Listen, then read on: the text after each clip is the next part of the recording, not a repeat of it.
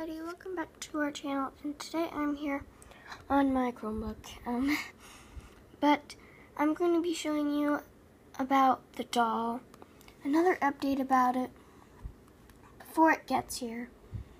So it says arriving by Friday, August 4th and today is Saturday, August 5th and right now it is about 8 a.m.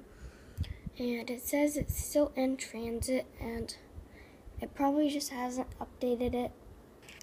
But let me show you something. Says that it would be arriving on Monday, August 2nd, 7th, and I ordered this on August 1st, 2017. So, pretty confused, but yeah.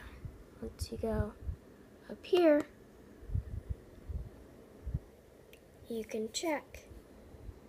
And again, arriving by Friday, August 4th still in transit. I'm really confused. I'm really frustrated. I already checked. There's no package. Um, sometimes down there, there, um, it, it, there would be like, sorry. I literally just um, it said like live help chat. Um, but it's I don't want to like do that.